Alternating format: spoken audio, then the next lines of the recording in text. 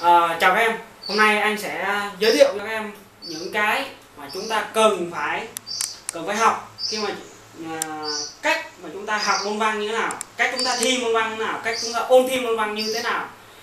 Thì à, hôm nay anh sẽ bộc lộ những cái kinh nghiệm, những cái bí quyết, những cái thành phần mà chúng ta cần phải lưu ý, cần phải đề cập đến. Thì à, như các em đã biết đấy, thì môn văn trong cái khối văn sử địa hoặc là toán văn anh văn ấy nó đóng một vai trò rất quan trọng.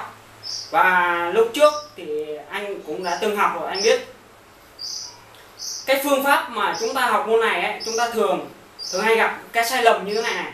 Đó là chúng ta trước khi viết chúng ta thường sợ là mình không không thế nào viết được. Lời khuyên của anh là như thế này. Các em nên cứ viết đi cứ viết đi đã. Đặt bút xuống viết. Đặt bút xuống viết hộ cho cho anh ok? Được chưa? Đừng sợ. Nỗi sợ nó làm cho bài văn của em không thể nào hoàn thành được. Đó. và cái vấn đề thứ hai anh muốn nói đó là đối với những em mà có trí à, trí nhớ kém trí nhớ không được tốt cho lắm thì anh lời khuyên của anh là các em học ở trên lớp các em ghi chép bà lại bài giảng và các em chỉ học những bài giảng trên lớp thôi. Sau đó các em đọc thêm nhiều sách nữa, câu nào hay, các em viết ra, có một quyển vở đó các em ghi riêng ra, được chưa? Các em viết ra những câu hay đó, viết hết ra, được chưa? viết hết ra, làm ơn cho anh, được không? đừng làm biến. Nghe anh nói không? Không được làm biến. Trên con đường của sự thành công, không có dấu chân của sự lừa biến đó là điều lưu ý của các em. Đấy.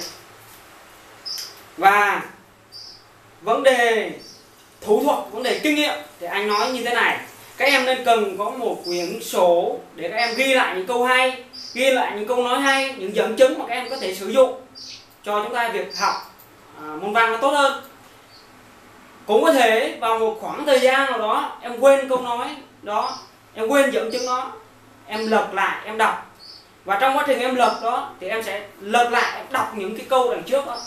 Những những cái câu mà em sẽ ghi trong quá trình em học ấy, thì em sẽ một lần nữa em lại ôn lại. Một lần viết là một lần học một lần viết là bằng ba lần đọc của em. Em đọc đấy nhưng em đọc ba lần thì mới một lần bằng một lần em viết. Được không? À, còn nữa một thứ đó là các em biết là giấy nhớ. Giấy nhớ có vai trò rất quan trọng. Giấy nhớ các em có thể là viết lên một cái mảnh giấy màu vàng vàng chẳng hạn. Đấy. Các em dán nó ở đâu đâu đó, các em dễ đọc đấy ví dụ như tôi thì tôi thường dán ở trước gương chẳng hạn. Đấy. Thì mỗi lần tôi soi soi gương ấy, tôi chỉnh áo lại, trang phục thì tôi sẽ đọc lại một lần nữa. Một lần nữa cái cái cái cái cái câu đó, một lần nữa cái giao bài đấy. Giao bài của bài văn đấy. Như thế nó dễ thuộc hơn. Đấy và kinh nghiệm khi em môn thi môn văn như thế nào? Đối với môn văn, môn sử, môn địa, những môn đó chẳng hạn. Thì kinh nghiệm của anh nó như thế này này, nó rất đơn giản thôi. Các em đọc lại một lần nữa những cái kiến thức đó. Các em viết ra những cái dạng ý ra, được không? Làm ơn, viết cho anh cái dạng ý. Viết cho anh cái nội dung tiêu đề của cái bài học đó.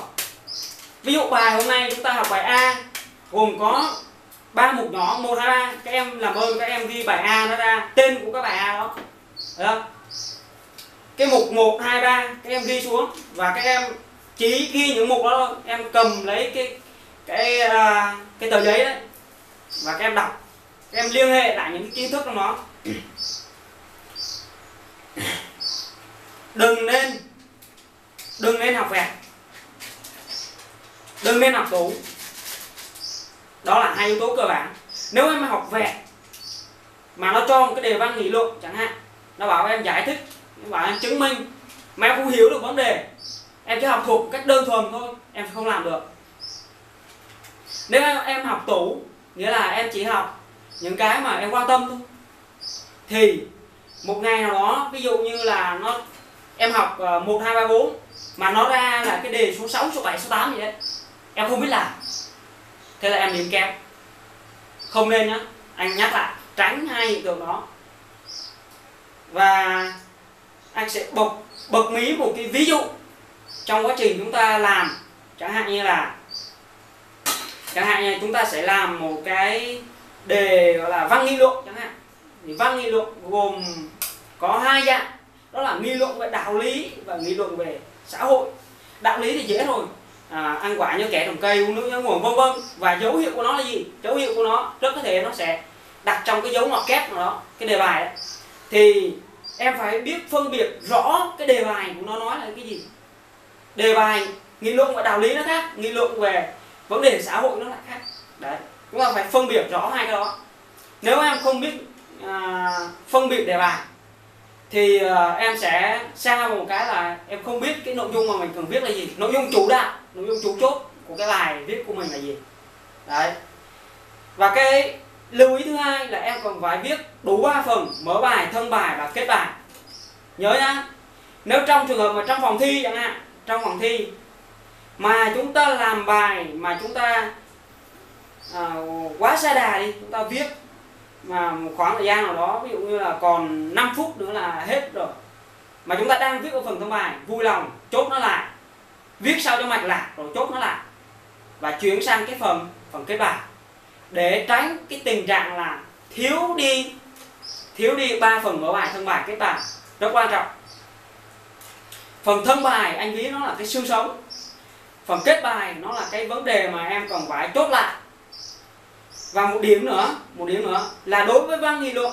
Trong ví dụ này, anh nói về văn nghị luận nên anh sẽ nhấn mạnh về cái vấn đề văn nghị luận. Đối với vấn đề văn nghị luận thì cái phần mà em sẽ liên hệ liên hệ à, à, cuộc sống. Em liên hệ à, thực tế thực tiễn. Nó rất quan trọng. Điều này đòi hỏi em phải đọc sách báo nhiều em phải đọc văn mẫu nhiều em phải tiếp xúc à, với xã hội nhiều. Và em viết ra làm như thế nào để nó có ý của các em để giáo viên chấm thấy được sự sáng tạo thấy được sự liên hệ thực tế của em thấy được cái vốn kinh nghiệm của em thấy được cái cái cái quan điểm cái nhân sinh quan mà em em gửi vào cái bài viết đó. Được chưa? Và một lần nữa à, anh chúc các em là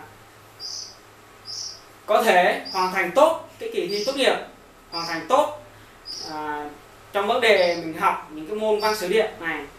Và ở phía dưới nếu như bạn nào mà à, cần cần à, anh tư vấn thì vui lòng là à, liên hệ với anh qua cái địa chỉ mà anh để dưới cái mục in description đấy cái mục mô tả đấy được chưa? Ok chưa? À, nếu như mà các em cần à, hỏi nhiều vấn đề khác nữa cụ thể hơn thì vui lòng liên hệ với anh. Được chưa? Và cái bài học của ngày hôm nay cái bài chia sẻ à, của anh ngày hôm nay đến đây là kết thúc. Mặc dù là có rất nhiều điều rất nhiều điều anh cần nói rất nhiều điều anh muốn nói nhưng cái thời gian nó không cho phép đối với vài phút ngắn ngủi này. Và tạm biệt các em. Chúc các em thành công.